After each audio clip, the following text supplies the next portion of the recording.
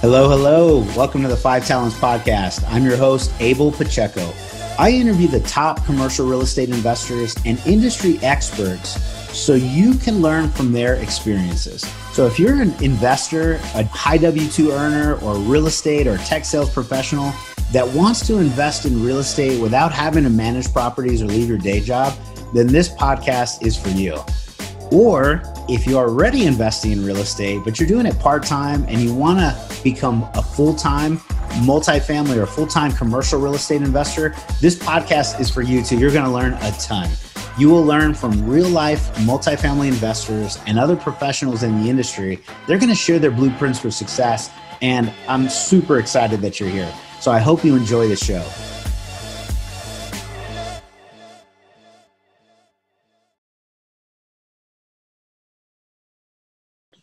Hello, hello. My name is Abel Pacheco, and I'm your host for the Five Talents podcast. We're super excited to, today to have an amazing guest. Um, if you've been around the multifamily community, you probably know either his name, his face, uh, his story, or all the above. Mr. KK Singh. K, uh, KK, thank you very much for, for joining us. Thank you for having me on your show, Abel. Yes, sir. I'm I'm I'm humbled and I'm very appreciative, and uh, you know, just just to have uh, high quality caliber guests like yourself that has a lot of experience. Uh, we're just super excited. So thank you. Appreciate um, it.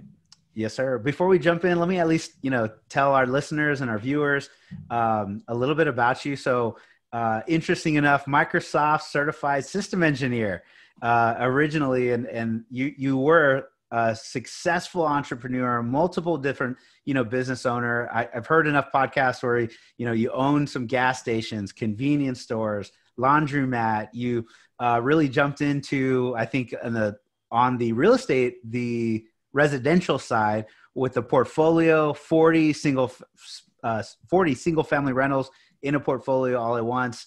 Uh, and this is all in Indiana, correct? Correct. Okay, gotcha. So that's where where KK's from, and um, so I know you're you're also an investor uh, passively, uh, 2,900 units plus as a limited partner and a general partner. So in right. multifamily syndication. So obviously we're going to dig into that, you know, in the show as well. And uh, you know, you you have you so you you bring experience from an entrepreneurship, a business uh, ownership experience from India, and then you know 10 plus years there and another 19 plus years in the US. So obviously some very different views uh, that our listeners would probably benefit, you know, on both. But uh, you know, that very very nice to have you, and thanks for joining. We appreciate Thank it. Thank you very much. I appreciate it for having me on your show, and it's my pleasure. Yes, sir. And the moment I see Microsoft certified, I don't know if I've missed that, uh, but I, I, love seeing it now because uh, I, I, worked at a company called Rackspace as an IT hosting company, so I'm very familiar with the, the you know the all the all the tech. I, we do deal we deal with a lot of tech uh, people. So, um, anyways, please give us a little bit of, of your backstory. You know, for, for those that have never heard KK Singh and and your story, man, you've got an amazing one. If you could start there, that'd be awesome. What you know, what you're doing today and how you started. Uh, my name is KK Singh. Is KK Singh is my American name. My full name is Krishan Singh.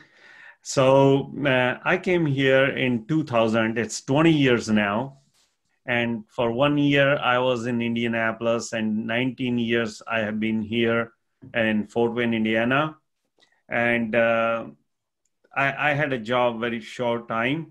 So I moved uh, into. I lost my job and moved into the gas station business uh, because uh, uh, my friends had a couple of gas stations, and when I lost my job, they asked me to come come and help them out, out with the, the gas stations. So I started with the gas stations as a cashier 20 years ago, mm, getting paid five dollars and fifteen cents. Yep. At that time, that's that was the minimum, wage, state minimum wage in Indiana.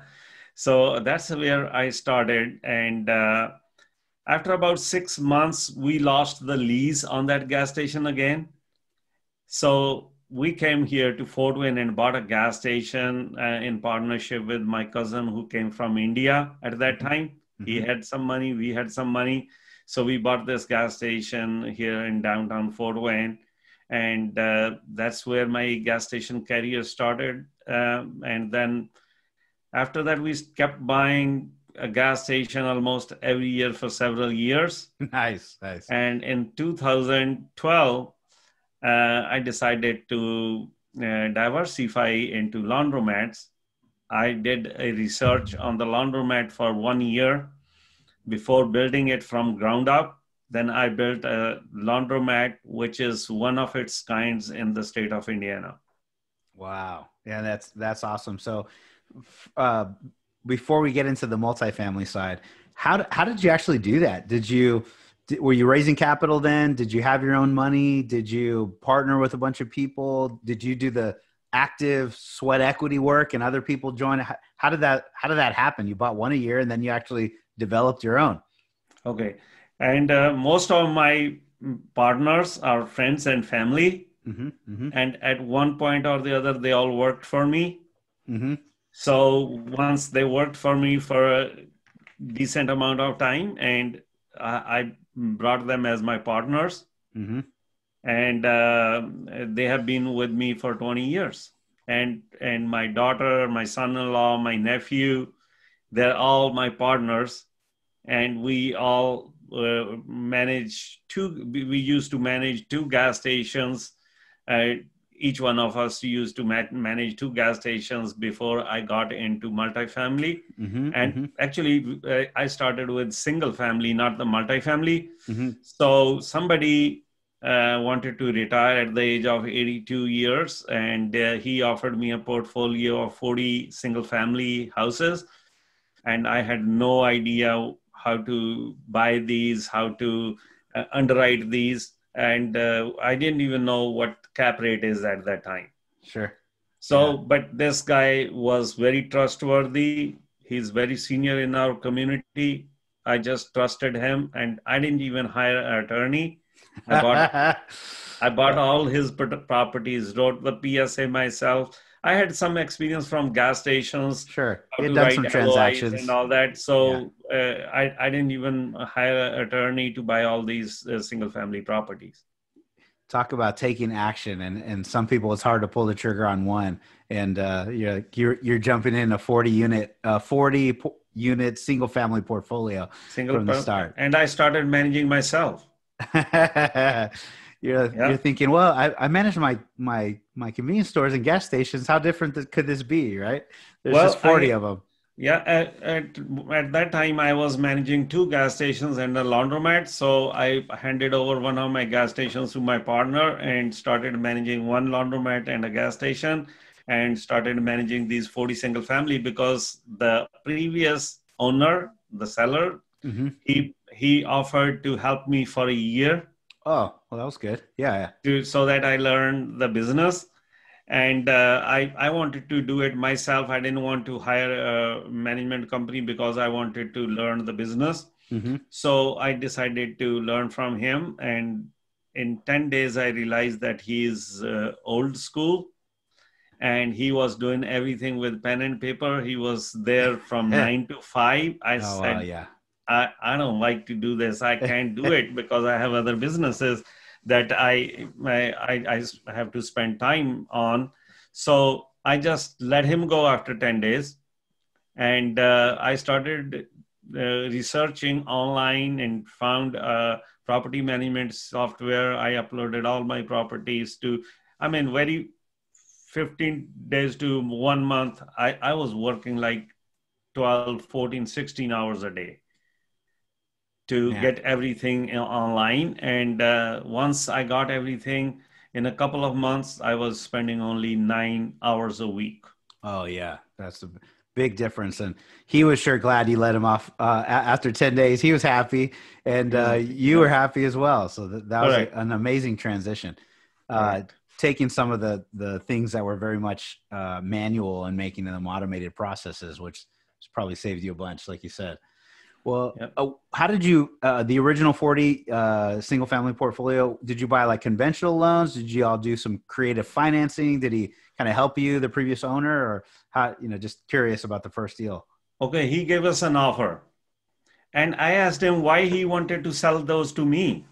Why don't he sell somewhere else who knows this business? And he had sold those houses twice before he sold it to us and those those guys couldn't get financing.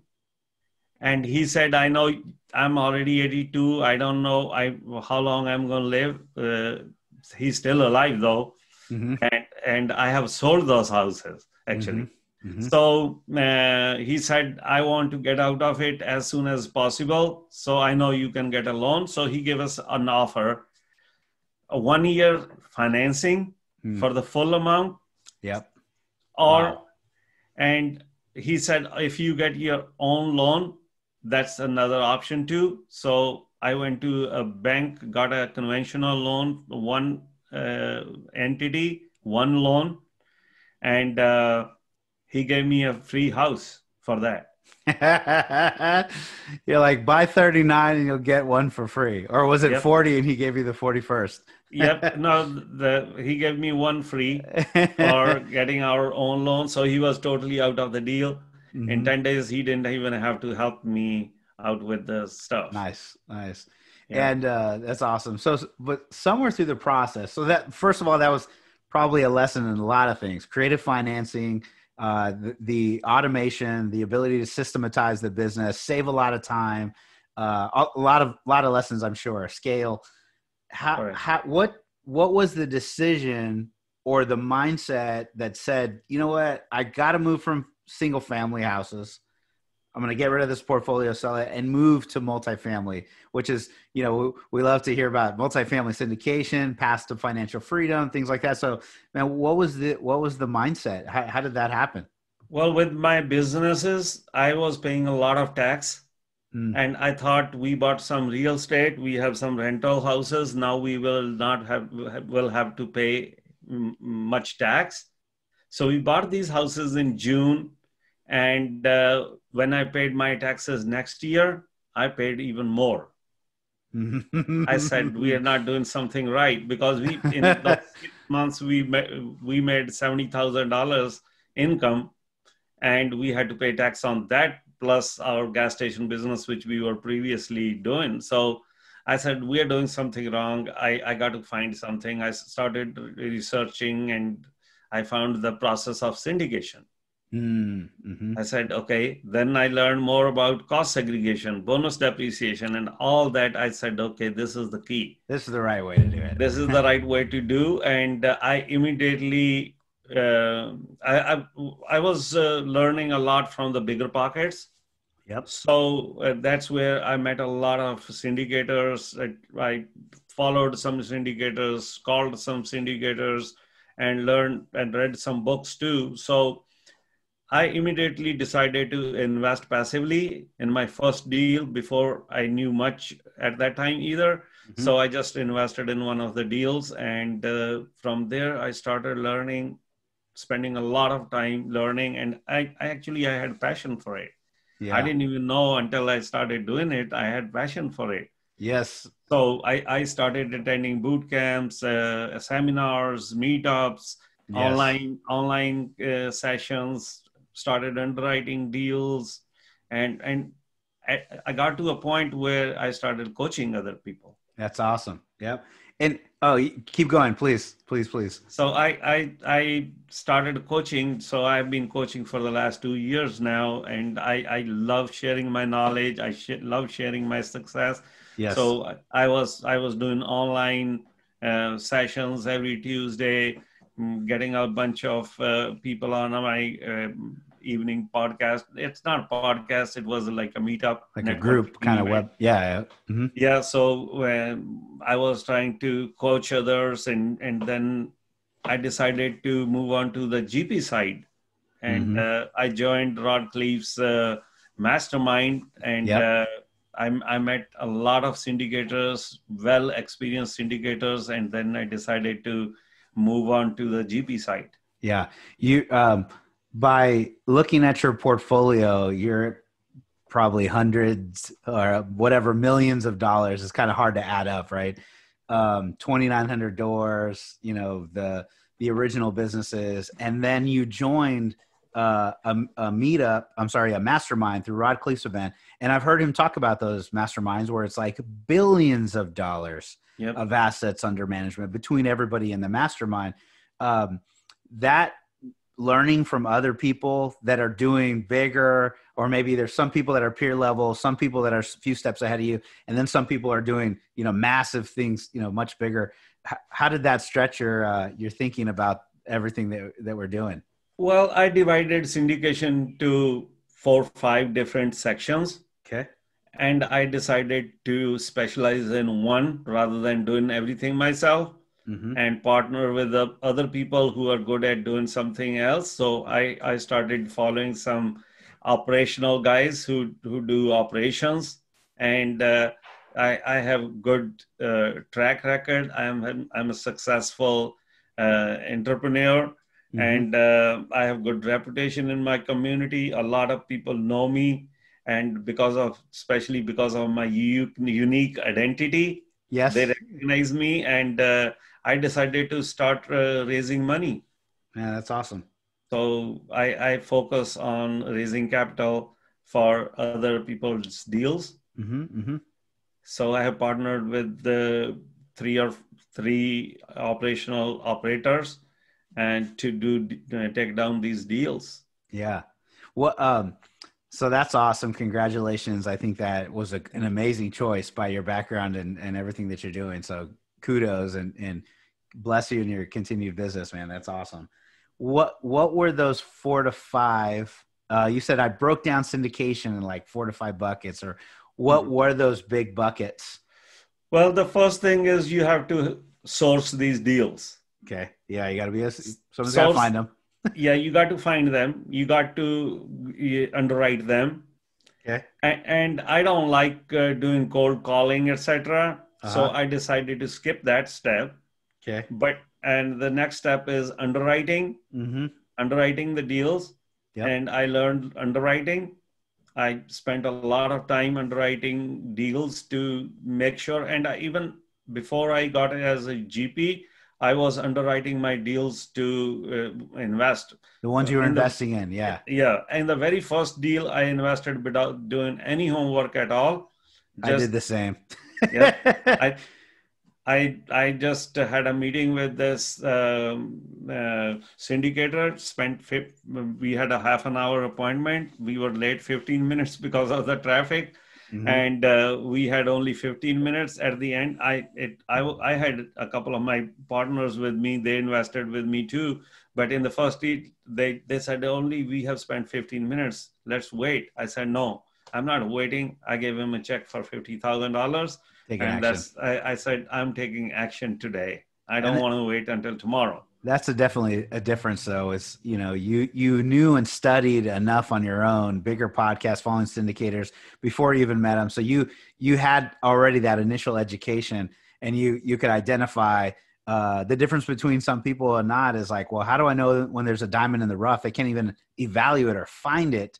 But you had put in the time and effort and energy you you could make that decision much more quickly than probably some of your other partners and so yep, you did. that's the biggest thing because uh, uh, knowledge uh, is the main thing. Uh, you it, if you have knowledge you don't have you don't fear. I mean same mm-hmm. thing with the gas station business. We mm-hmm. had knowledge we knew how to run these gas stations. I would go up by just go around the gas station and tell how much is it and give them an offer mm-hmm. even without underwriting or doing anything. Yep. That's yeah. awesome. Uh, yeah. And I'm sorry to interrupt. I just wanted to make sure our listeners kind of heard that, right? So, so the the four to five buckets, right? Sourcing them, underwriting them for those that you know are kind of newer. You you literally take the financial analysis from the rent rolls and the T12s, the trailing 12, right. and then you put them in a long Excel and you put all this, you know, pro forma and expectation of assumptions and is it, can we make money on the deal, right? So that's right. the underwriting, and then the third uh, or what was the next next kind of thing? Next next thing is taking down the deal. Yes, sir. Good, going doing the PSA, um, arrange, uh, making your team, and having the right people on the team, and that's the next step. And uh, that's lead needs a lot of work too. And, yeah. and the oh, final, yeah. yeah, final step is the bringing the money for that deal. Mm-hmm, so mm-hmm. I chose to start with the bringing the money, mm-hmm. and also I sit on asset management calls every week. Yes, sir. Yes, sir. You're staying active. You're doing your part. You're learning. Uh, even uh, I'm sure that you know, even though you're not in the direct sourcing, you're still looking at the numbers. You're making sure it's a quality investment for you and your investors, et cetera, et cetera.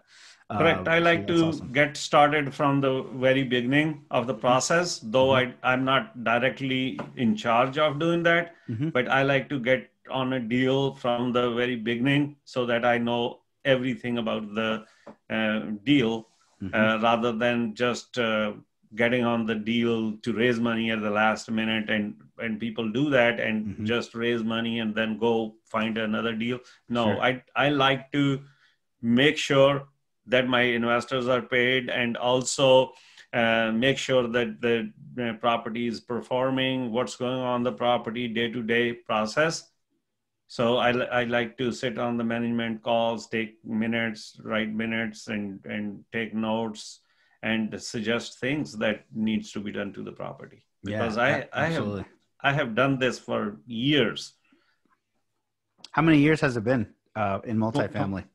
Multifamily is four years. Okay, but years, twenty years, years of running business and businesses, and I I own several property gas station properties, and I own properties vacant lots for the gas stations as well. So I'm very familiar with how to manage the assets. Yeah, makes perfect sense. And that's probably like number five when you're talking about four to five steps: operating, asset Correct. management.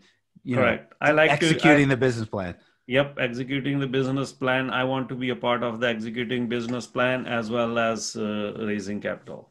Got it. Okay, great and that, that that's a good good nugget uh, for those that are listening that maybe trying to put together their first deal and they think I've got to do all this like myself.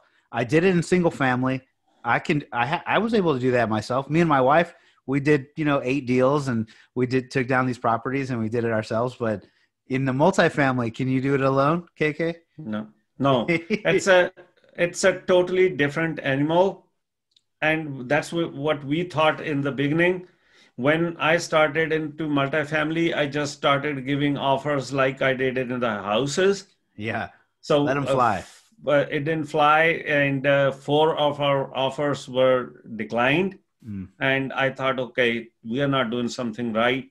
That everybody is bidding more than us, and we were underwriting. We, those were smaller properties, but we were underwriting the way we were we underwrote the single family. Mm-hmm. So I, I thought, no, that's not something uh, we are doing right. So I decided to uh, do research and learn the process rather than just uh, uh starting the process. So yeah. I stepped back, learned the process, and, and then went back again. Yeah. Uh, and I, I, love the I love hearing that uh, when he said you wanted to master it, you like learning, you developed a passion for it through the learning process. You you know you started going to the boot camps and the seminars and you know i, I did the same thing i think it really accelerated uh, the, the path of uh, learning education implementation so uh, if you had anything to do different from what you you know would you would you make any changes or would you do the exact same thing over again well a lot of people say that if they if they have to go back and start all over again they would have started uh, with the single family uh-huh. No, sorry, multifamily. Multifamily, yep. Multifamily, but I think uh, we did the right way. mm-hmm. Though we didn't know anything, we did everything wrong uh, when we started, but we were lucky enough uh, that we were able to sell those properties with we uh, in five years we 10x our money. Man, that's that's a a great amount of profit for doing it all wrong yeah, so so I think uh, we did the right thing by going into the single family before we moved on to the multifamily. Yeah. I don't think somebody would have made 10x the money in the multifamily, 10x their money. Mm-hmm, mm-hmm. So we 10x our money in the single family portfolio. So yeah, I I, I think uh, we did the right way. I I, wouldn't I wouldn't disagree, my friend. I wouldn't disagree. Uh, for the passive investors that might be listening, um, you love to coach, you love to give back, and that that's great. What um, let's start on the passive investor. You know, what advice or what insight would you give them? You know, if they've just started learning, they realize, oh, you know, they're on the podcast now, they're listening, so they're mm-hmm. seeking out this information. but they're you know maybe made their first one or two investments. What insights or wisdom could you give them? Okay, first of all, after my first deal that I told you that I just invested without even thinking, Mm-hmm. but after that I I thought, okay, no, I got I got to master this too. So I prepared a list of 43 questions mm-hmm. that every investor should be asking the syndicator. Mm-hmm. And I have like five flags in those too. Mm-hmm. Mm-hmm. So five red flags Okay. uh, in those uh, after those 43 questions. So I I normally even I invest in every deal uh, that I am a GP on. Mhm. So it's not like I'm not putting my money. I'm always I'm the first investor in all my deals. Mm-hmm. So I always go through those questions with the the co- co-sponsor or the main operator, Mm-hmm. and I make sure all those five flags that I have on the list Yeah. they- they're not one of them. Yeah. That makes sense. So you- for I'd love the- to hear. for- yeah. Can you yeah, share for- some of them? for- and I can I can share the whole 43 questions and those flags with you. I can email you after we are done. Yep. You can share with your audience, and uh, I, I love answering those questions when my investors ask me those questions because I I expect them to ask those questions because it their money is like my money too. Yes. So so I I love to answer those questions, and uh, I'll I'll share that list with you after we are done. What a great, Right. what a great value. I'm already, um, I'm happy that you joined. I'm even happier that our listeners are going to be- benefit. So that's, that's great. KK. Thank you. Yeah, and, and I can go over some of the questions if you want me to. Sure. Yeah, so absolutely. First, first thing I look at is is the operators. Okay. Are they the real operators? There are there are a lot of people. They're they're not operators. They're just they have their name, fame, and and uh, social media, um, advertisement, and all that. They they just raise money, and, and then somebody else is uh, operating the and and they don't even know what's going on on the property. Mm-hmm, mm-hmm. So first off, my first thing is I want to look at the operator team. Do they have enough experience? Have they have they done deals before? And the second one is the market. The is the, the market does the market support the rent growth, the job growth, the population growth? Is there uh, all these things in that market? Mm-hmm. and then then the third is the sub market the fourth is the property Mm-hmm. Mm-hmm.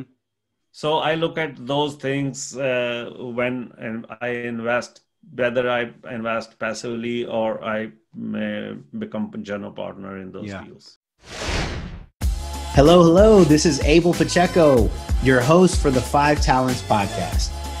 After listening to a few episodes, deep down, do you know that multifamily and commercial real estate investing is one of the best ways to create financial freedom?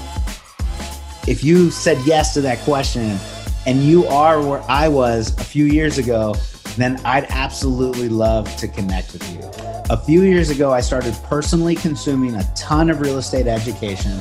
I traveled all over the country, as many real estate conferences and seminars that I could go to. I took 200 plus hours of real estate education. I spent thousands of dollars along the way.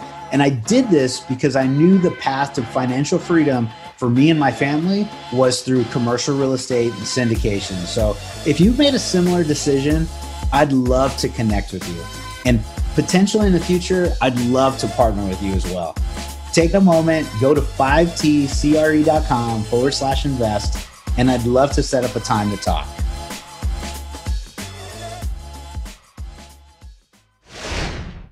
What, uh, so I say this often, and I'd love to hear you know your your take on it too.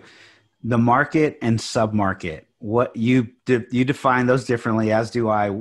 In from your perspective, what does that mean for somebody listening? What uh, what do you mean market submarket? What does that mean? okay okay i i'll give you example so i'll give you example of fort wayne so let's say people see the job growth the population growth the crime in Fort Wayne, etc. The go online citydata.com is mostly people use or That's what I say all the time. Yep. Or census.gov people use that those websites and even other websites get their data, all the data from census.gov. Okay. So if you are researching for a property in Fort Wayne, so you you're researching Fort Wayne. Okay, Fort Wayne has rent growth. Fort Wayne has job growth. Fort, Fort Wayne has population growth. But then the second step is what part of Fort Wayne? Mm-hmm, mm-hmm. So if you're looking at southeast, it's different. Southwest is different. Mm-hmm, mm-hmm. Northeast is different. Northwest is different. Mm-hmm. So in if you if you have your target market, and then you should have a target sub market too. Not necessarily you want to invest in Fort Wayne and then you end up in southeast, because there's a lot of crime and sometimes the city is one part of the city is bad area where you don't want to get into but there are good pockets in every city where you want to get into. So absolutely.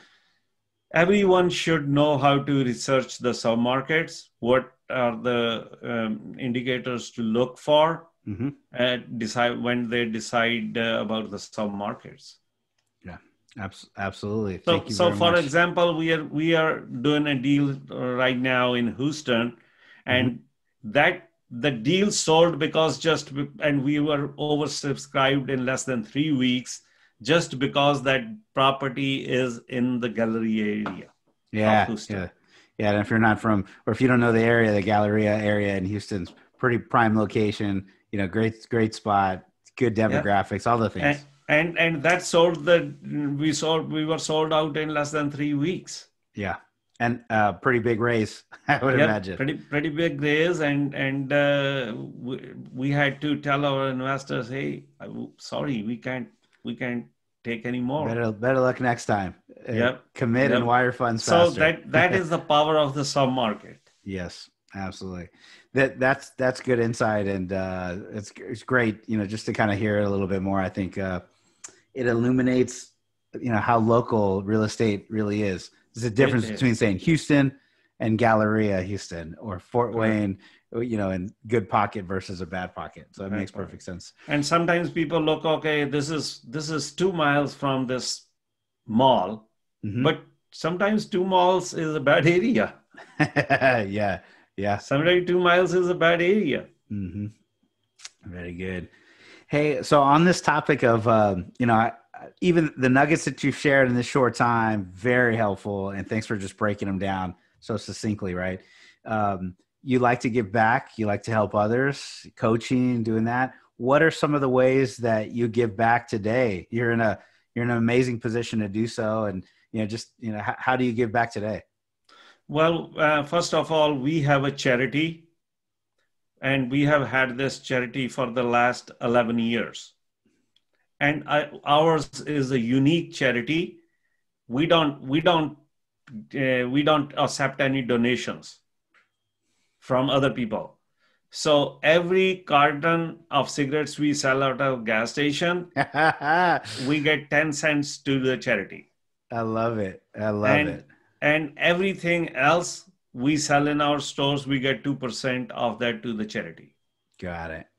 So then we, that, that brings us about $30,000 a year.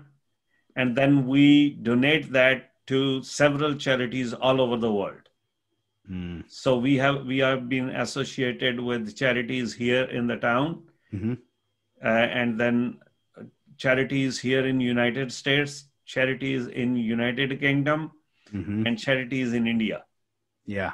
So we are associated with seven actually. Six of them are on regular basis. One of them we we do time to time help. Mm-hmm. So seven charities we we pay them on quarterly basis, and some we pay on monthly basis, like the preferred return. yeah, yeah. And uh, during this COVID, mm-hmm. uh, I decided to share my knowledge so I have a Facebook group. Uh, uh probably you probably know 10x Multifamily Investment Group. Mm-hmm. So I have th- uh, 5,000 members. So I decided to coach them for six months for free.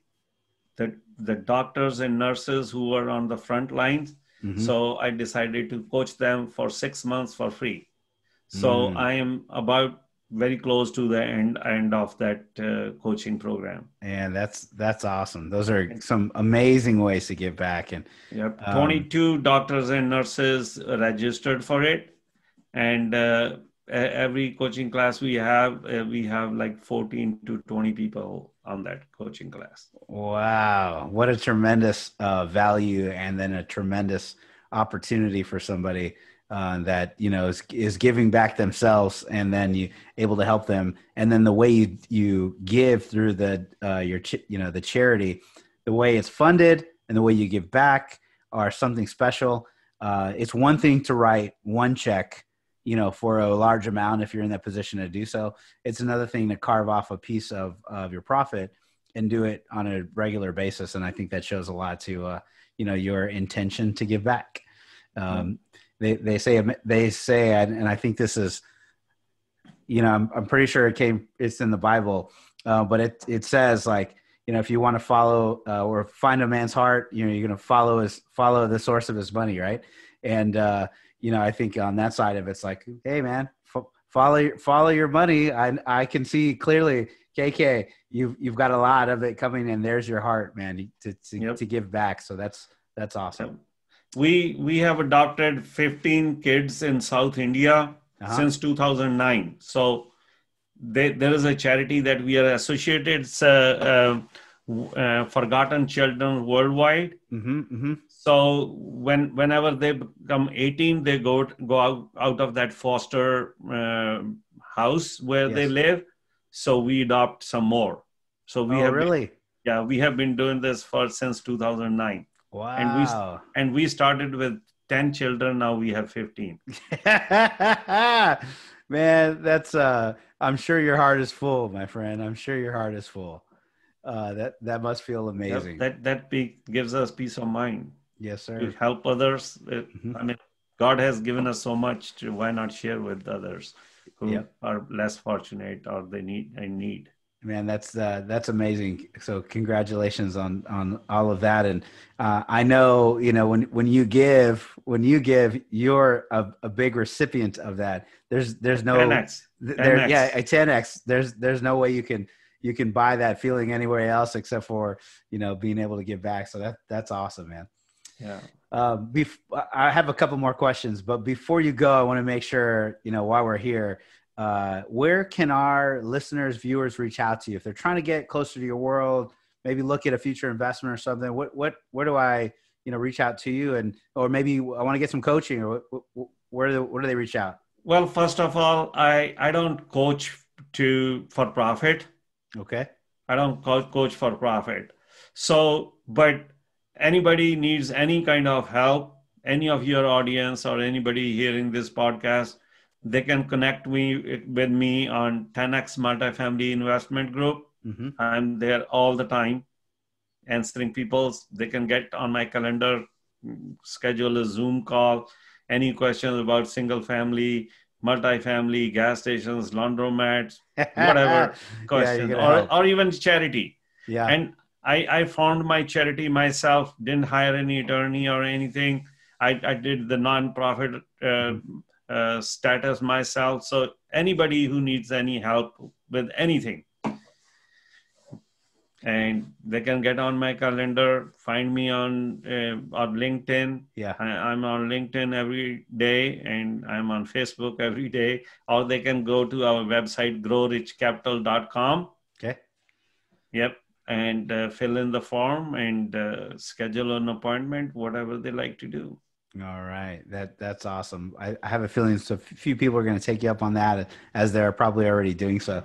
So, um, I I do I coach as well for multifamily syndication. I did, um, you know, probably sounds like probably like you. I joined a number of programs, as I mentioned, and that education that I got, and I enjoy helping other people.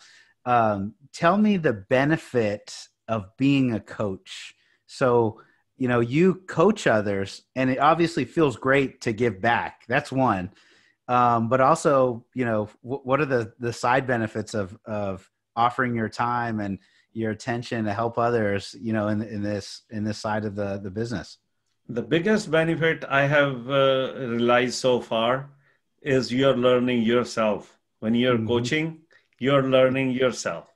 That's the biggest benefit I have had because yeah. The people you're coaching are not kids.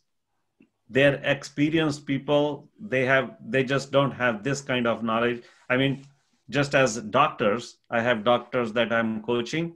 Mm-hmm. they're more they're more educated than i am but they just don't know what how to do multifamily. Sure. So you're learning a lot other things. I have had students uh, from different fields of life and i have learned a lot. And then also when you're when you're coaching others you got to get prepared for it. You're not just going to get on the phone and, you and just wing it. coaching yeah. you got to prepare for it yourself. And then also uh, when when you're coaching them you're learning yourself as well. Yeah I, i've experienced the same. It's it feels like the math tutor example is exactly like you said. You're going to be able to to do the equations a little bit better faster and you got to prepare and you got to know and yeah, that's yeah. that's it. Uh, do you um, you know for somebody that says, you know what, uh, and this was me, so I'm going to give you my example. I go, uh, I've only done like a few deals. I've I've I'm in like right now my my you know I'm in 800 doors, 400 as a passive investor, a couple of deals as a co-sponsor and a syndicator, and you know really I, I kind of felt like uh, I don't know if I could be the coach I don't know. I'm not the expert. I'm not the guy at the front of the room. I'm not, you know, that, that was originally how I felt about seven, eight months ago. Um, for that, for that person that says, well, I have a little experience. I don't know if I can actually help somebody. Can, can, can anybody kind of help somebody through a process if, uh, you know, or I, I, guess what would be the advice for that person that has that, that feeling of, ah, I don't know if I should be a coach to somebody else. I think uh, this is more of a, accountability thing rather than coaching because then you are holding somebody accountable. Let, let's say uh, you tell your student that you got to make five calls to the broker. Mm-hmm. So basically, basically, he has got to get do it before he comes back to you again. So it's kind of more of a accountability thing that they get out of their comfort zone and do it. Yeah. Otherwise, they might not do it. And I have seen people learning, learning, learning, never taking any action. Mm, yeah. Yeah. And and same thing. Uh, I have seen a lot of investors. They know about every syndicator. They know about every deal. They are on everybody's list, but they they have never invested. Yeah. They're yeah. so fearful. They're they have never invested mm-hmm. because they are fearful Mm-hmm. And and unless you take action, whether you're whether you're a syndicator, whether you're a passive investor, whether you're in some other business, unless you take action, nothing happens. You may have vast knowledge, but unless you take action, nothing yeah. is going to happen. And by by just knowledge, I, I give you example. So if you learn from a podcast or read a book how to swim, you can't swim until you jump into the swimming pool. uh, perfect analogy, my friend. Yeah. Perfect analogy. Yeah, that, that's awesome. Thank you very much for sharing the insight. I think that's great, and the accountability side. So, uh, I, you know, I, I'm in a similar mindset. I, I think anybody that's done something before, like once you've jumped into the pool, and you know how to swim, you'll figure it out. Yeah, you're, you're gonna jump. you're gonna jump in. You're gonna make it happen. Yeah and, the same thing sorry same thing i'm i'm saying is when i bought these single family portfolio and uh, I, I had I had no time to go at nine o'clock and come back five o'clock. I had other stuff to do, mm-hmm. so I figured it out. Mm-hmm. Okay, I, I figured it out. So kind of I jumped into the swimming pool without knowing how to swim, but once I was in the swimming pool, I figured it out. Yeah, Absolutely, man. So, th- so thank you very much for the insight. I think it's been amazing. Uh, is there anything else that I haven't asked you about? Uh, anything you wanted to highlight, or you know, any any wisdom? Any, just anything in general? Well, I want I want to say one thing to your audience uh, that always, always, always invest in yourself before you invest in any real estate. So make sure you you invest in yourself. You learn whatever you're doing. You could lose all your money in one shot in real estate if you don't uh, invest in yourself. So mm-hmm. basically, the time. Yeah, that's that's a, a fantastic uh, last nugget and last piece of wisdom. I, I think that's very very true. Uh, win, lose or draw on the real estate side, your education, no one's going to take that away from you. And whether you, if you lose, you know, or, or don't quite win, you're still gonna you still have the education. You're gonna be that much better for the next round. So invest in yourself. I agree, Mr. KK Singh. Thank you very much. It's it's awesome. Thank you very much for having uh, or for you. coming to us uh, on the show, man.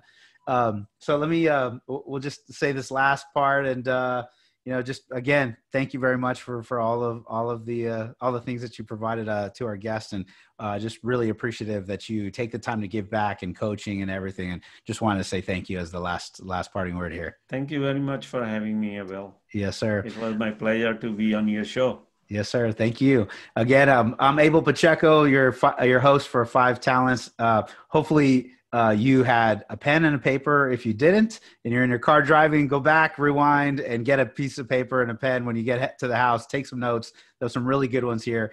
Uh, again, Abel Pacheco. If you want to reach out to me, uh, you can reach out to our website, 5tcre.com. That's 5tcre.com or Five Talents Commercial Real Estate.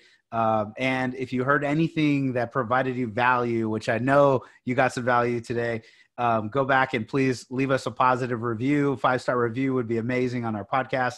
Uh, leave a written review and give give uh, you know Mr. Krishan KK Singh a little bit of nuggets and feedback too. I'm sure he would appreciate it. And uh, thank you very much. It's been a great show. Thanks, KK.